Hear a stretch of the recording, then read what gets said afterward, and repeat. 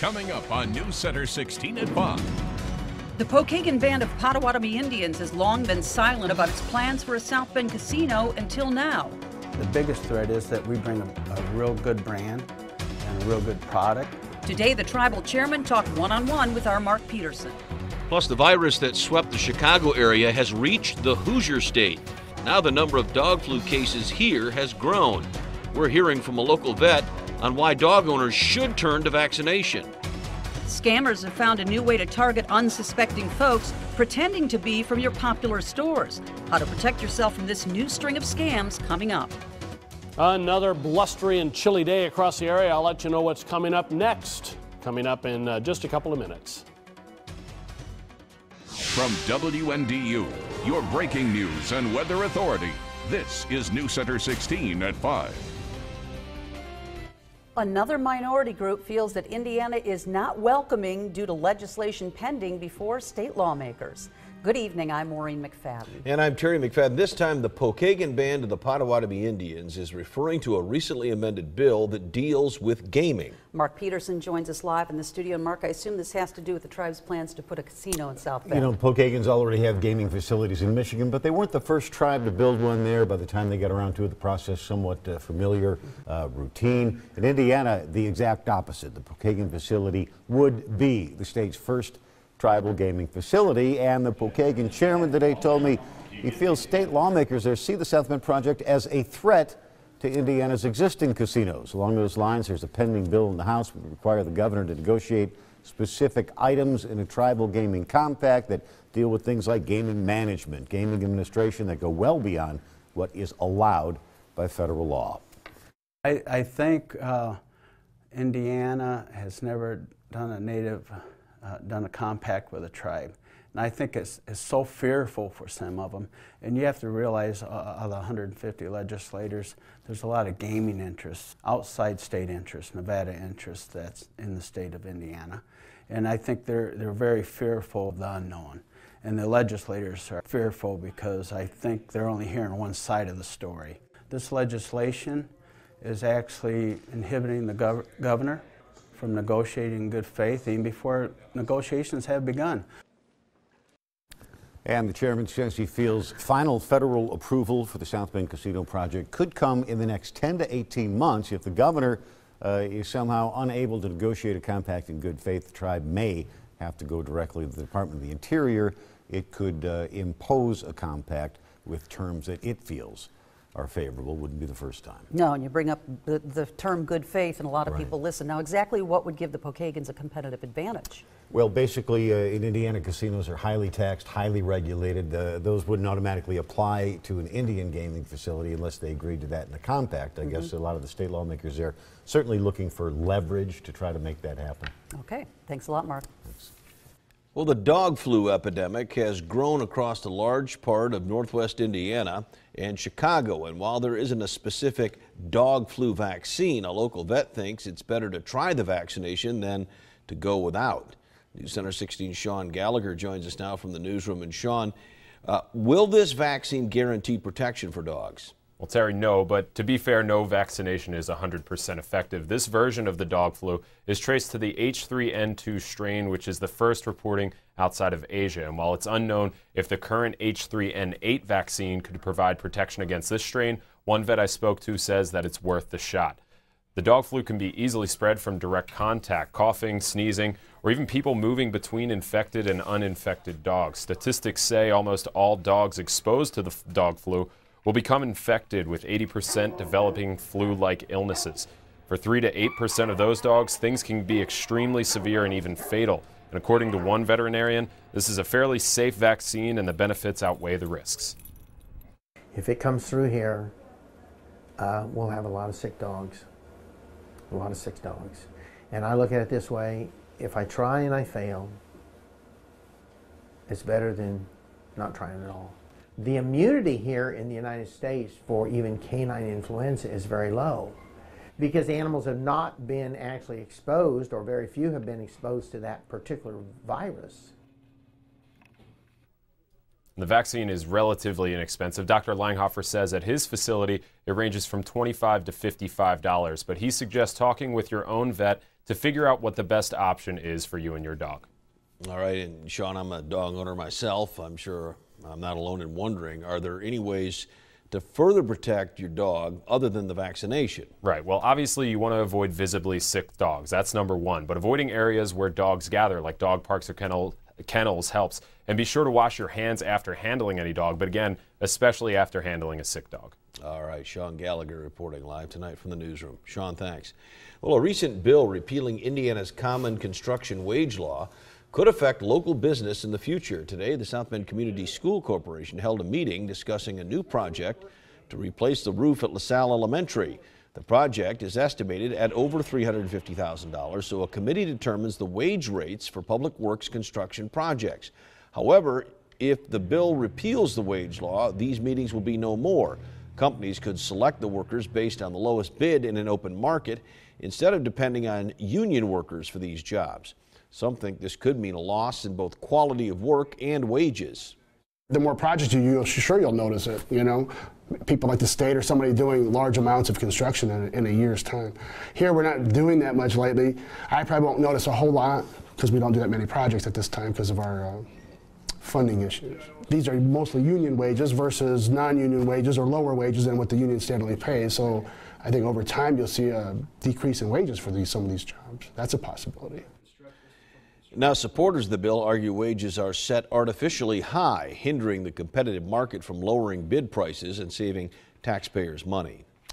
Well, the sun's been out today, but it's been a chilly one. Mike, how low do you expect those temps to drop tonight? Terry, we're looking for temperatures to drop well into the 30s tonight once again, and uh, we're going to be watching that. But right now, we're watching some uh, spotty light showers moving into our northern and western sections, as you can see there.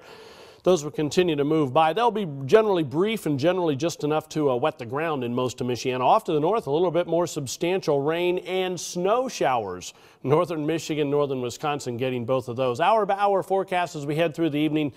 Uh, there will be a shower or two in most areas. Very light though, temperatures down to 45 degrees by 9 o'clock. I'll let you know how cold it gets later tonight coming up with my forecast. Thank you, Mike. 13 days after finding him guilty on all 30 counts he faced in the marathon bombing attack this morning, the jury returned to the federal courthouse in Boston with only one question remaining in the case. Should Dzhokhar Tsarnaev live or die? Here's Jay Gray with the details. Now, if that decision is the death penalty, it must be a unanimous vote. If not, the sentence will automatically shift to life in prison. Now to a controversial decision facing a judge this week. Should John Hinckley Jr., the man who shot President Reagan, be granted more time away from the mental hospital where he's been treated for more than 30 years? John Hinckley Jr. was 25 when he tried to assassinate President Ronald Reagan, and he's now nearing 60. Over the years, a federal judge has gradually granted Hinckley longer visits to his mother's home in Williamsburg, Virginia, and away from the mental institution in Washington, D.C. Tomorrow, hearings will begin again to determine if Hinckley should be allowed even more time in Williamsburg and the possibility of living there permanently. His doctors are expected to argue his mental illness is under control, but the federal government strongly disagrees. Meanwhile, a vote to confirm Attorney General nominee Loretta Lynch is expected in the coming days. This after a five month stall over an anti human trafficking bill. Senate Majority Leader Mitch McConnell announced today a bipartisan deal had been reached on the bill, clearing the way for a vote on Lynch's nomination.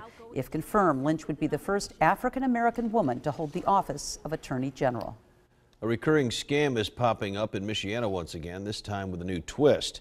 Scammers are targeting email accounts promising reward points to popular stores like Macy's and Walgreens if you answer a survey.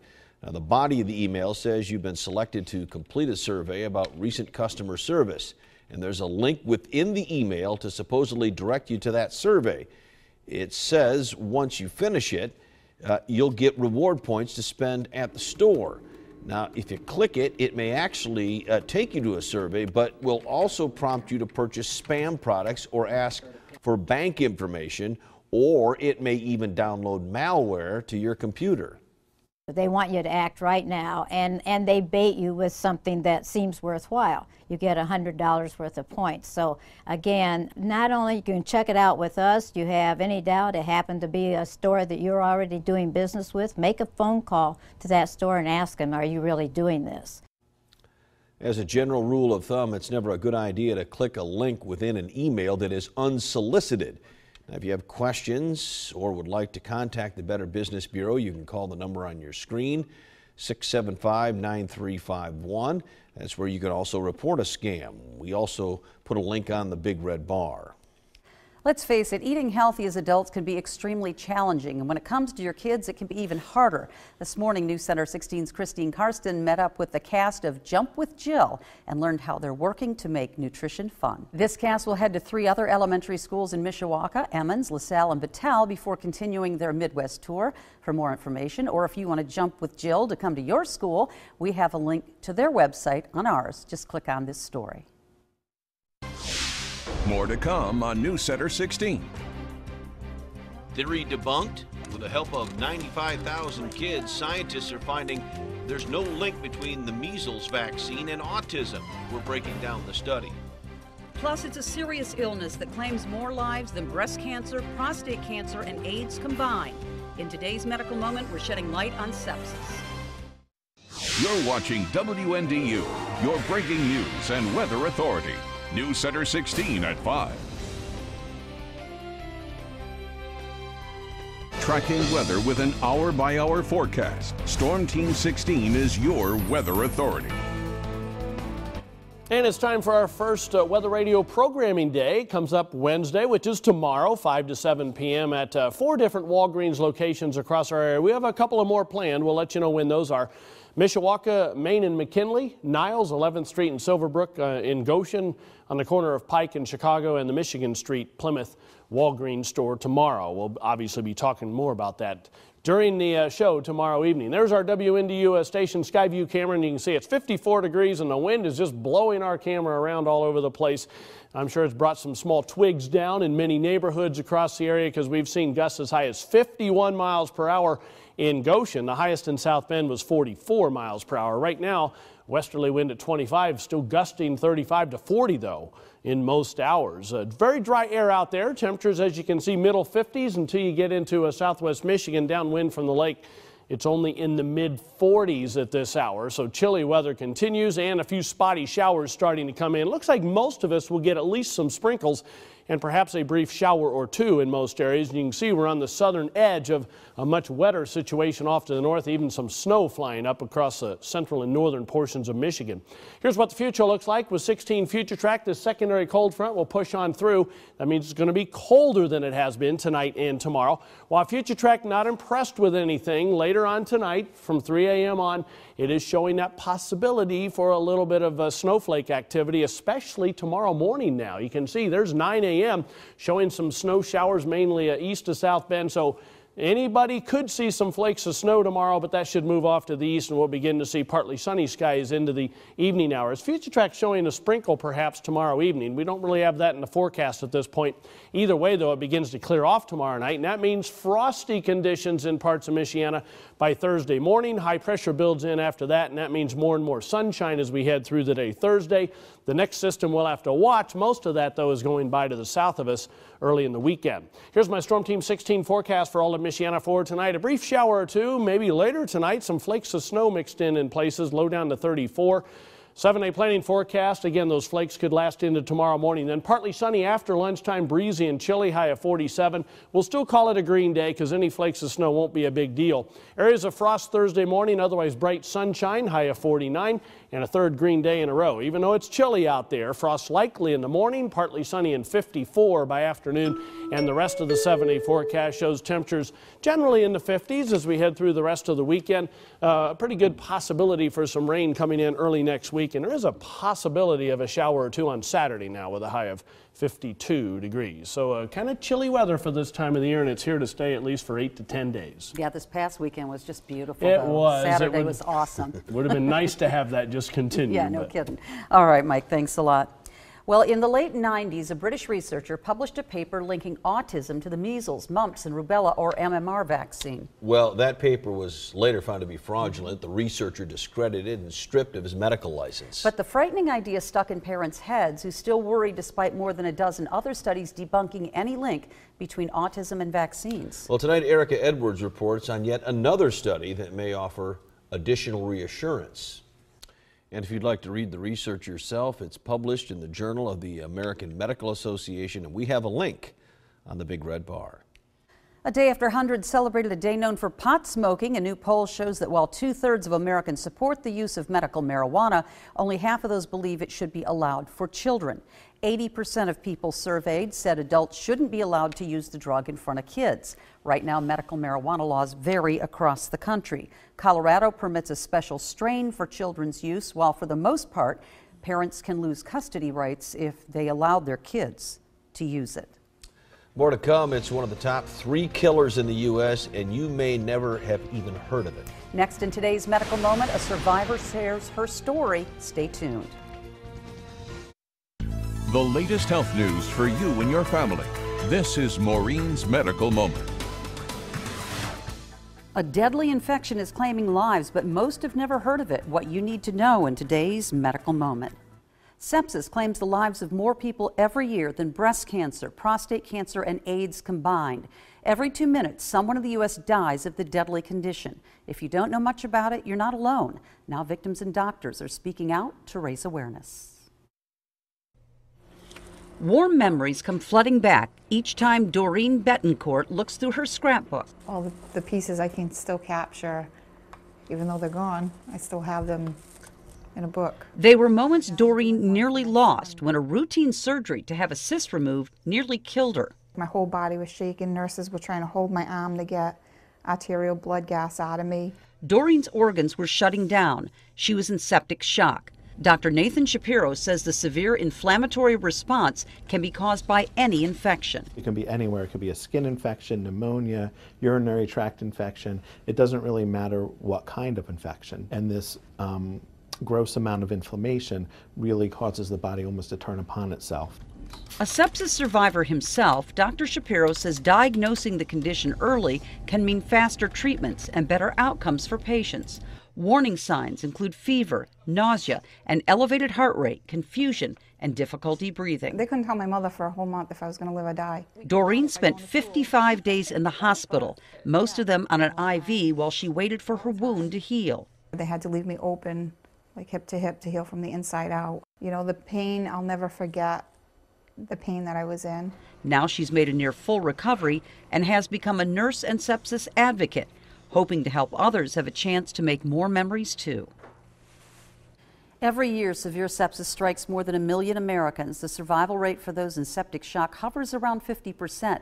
Typically, doctors treat the condition with antibiotics, but other therapies like oxygen, intravenous fluids, dialysis, mechanical ventilation, or surgery are also used. And to read the research summary for today's story, you can go to WNDU.com and click on the medical moment. Terry? Thanks, Mo. More to come. Love was in the air at this year's Boston Marathon. See how one runner had a sparkly gift waiting for her at the end of a three hour and 41 minute run. Stay tuned.